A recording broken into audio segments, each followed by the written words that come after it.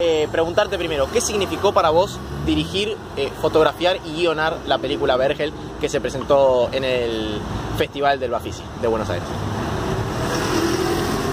Mira, para mí viene todo junto.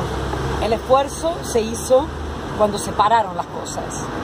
Para mí a veces eh, en el cine yo veo una cosa como una fragmentación, como si fuera un Frankenstein. Uno, tira para un lado, otro tira para el otro, entonces como tienen que ponerse de acuerdo, porque es importante lo que dice el director de fotografía, y es importante lo que piensa el director, y es importante lo que piensa el guionista, terminan muchas veces, en mi opinión, no siempre, claro, hay obras maestras hechas así, pero en mi opinión, cuando un, un proyecto vos lo gestás como un todo, es más esfuerzo separarlo que mantenerlo junto. Y este es un proceso que salió de una investigación que yo hice en mi espacio, en mi departamento. Entonces yo investigaba con la cámara y a medida que investigaba escribía y el espacio me inspiraba acciones y las acciones que yo tenía en la cabeza iban encontrando su lugar en el espacio.